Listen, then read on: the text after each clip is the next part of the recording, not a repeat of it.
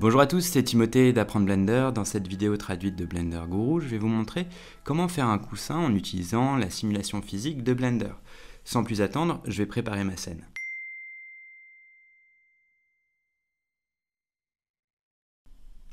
Première chose à faire, c'est de rajouter un plane. Je vais aller dans Add Mesh Plane. Je vais le lever un tout petit peu, comme ça.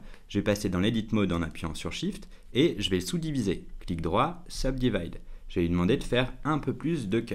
Je vais faire 10. Maintenant, je vais me rapprocher de mon objet et je vais l'extruder, mais un tout petit peu, c'est-à-dire de quelques, euh, de quelques millimètres, pour pouvoir insuffler de l'air à l'intérieur. Alors l'idée, c'est d'appuyer sur E et de faire, vous voyez, comme ça. Ce que je veux, c'est juste avoir ici quelques, euh, quelques coins, mais pas trop haut non plus. Je vais désélectionner cet objet, je vais sélectionner à l'extérieur. Et mon intérêt maintenant, c'est de sélectionner juste ici les crêtes.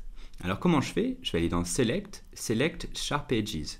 Et là, je me retrouve avec simplement les, euh, points qui sont les plus près.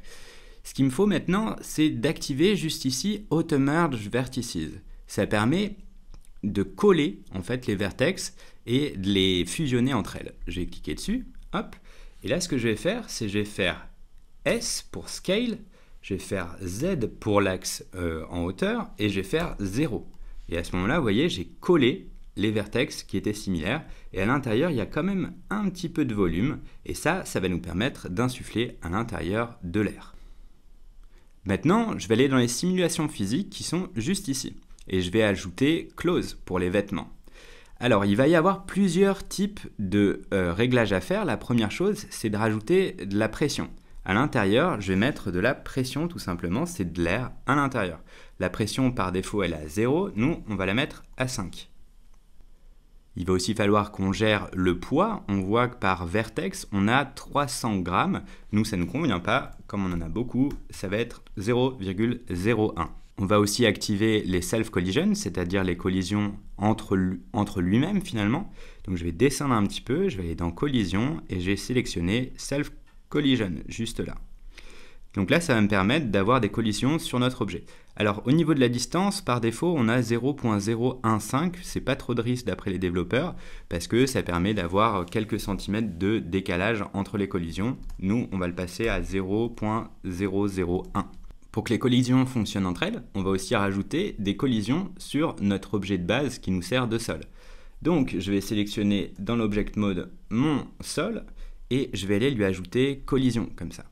Alors normalement dans Soft Body, en fait, on a ce qu'on appelle le Thickness Outer qui permet de créer une forme de comme une couche supérieure à notre objet sur lesquelles se feront les collisions. Alors là, elle est un petit peu trop distante, donc on va passer à 0.01, ce sera au plus près de notre objet. Donc maintenant, si on appuie sur espace, on a bien notre oreiller qui se crée et qui vient rebondir sur notre objet. Là, vous allez me dire que le rendu est pas terrible. Ben, c'est pas grave, on va simplement se mettre sur notre objet et ajouter un modifier qu'on va ajouter. On va ajouter le subdivider modifier, ce qui nous permet d'avoir un petit peu plus de polygones. Hop, on va l'augmenter un tout petit peu. On va faire un clic droit, Shade Smooth. Et voilà, on a notre oreiller. Maintenant, on va le positionner dans un coin, ce sera peut-être plus intéressant. Alors, je vais repartir à l'image 0 et je vais le mettre dans le coin qui est là-bas, ce sera beaucoup plus intéressant. Ce qui serait intéressant maintenant, c'est de rajouter des détails. Donc on va appliquer les modifiers, apply, apply, bien dans le bon ordre. Maintenant, je vais passer sur mon objet, je vais même rendre le sol invisible, hop, comme ça, comme ça je vais garder que mon objet. Et ce qui va nous intéresser maintenant, c'est de le rapprocher au 0. Donc je vais aller, hop, ici, location 0, 0, 0. Maintenant, on va ajouter un peu plus de détails, rien de plus simple. On va aller sur notre objet, dans l'Edit Mode, et on va sélectionner le coin en fait de notre objet. Donc, je vais le prendre, il est juste ici. Donc ça, c'est tout le contour de notre objet. Je vais maintenir CTRL ou Option en fonction de l'ordinateur sur lequel vous êtes. Et là, je vais faire Option S pour échelle le long des normales. Alors, soit je le mets à l'extérieur, soit je le mets à l'intérieur. Moi, je vais le mettre plutôt à l'intérieur, ça rajoutera des détails. Et là, si on vient là, hop, on a bien notre objet. Si jamais on souhaite sculpter notre objet, rien de plus simple, on va dans Sculpting et là on va pouvoir ajouter des détails en utilisant les objets de sculpture. Dans Shading, je vais ajouter ma matière, je vais cliquer sur BSDF.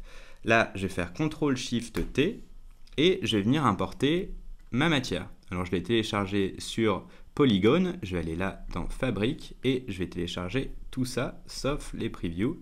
Principal BSDF. Et là, normalement, on a bien notre coussin hyper réaliste sur Blender et ce en quelques clics. J'espère que cette vidéo vous a plu. N'hésitez pas à vous abonner, à liker et n'oubliez pas que dans la description, il y a une formation gratuite pour apprendre avec moi à utiliser Blender.